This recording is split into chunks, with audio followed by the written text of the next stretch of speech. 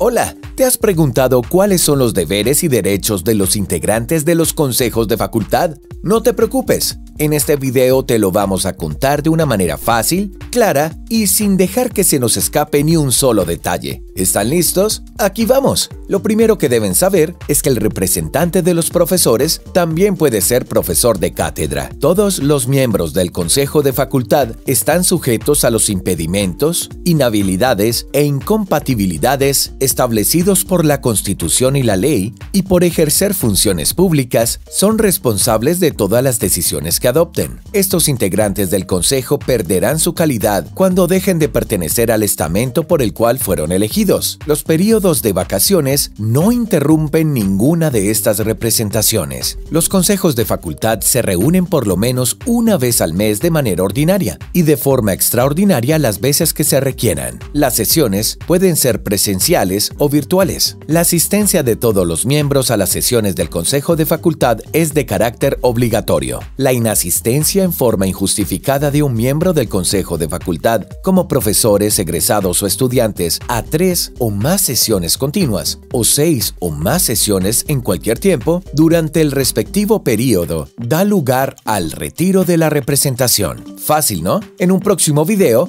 vamos a contarte sobre las funciones principales de los integrantes al Consejo de Facultad. Hasta la próxima.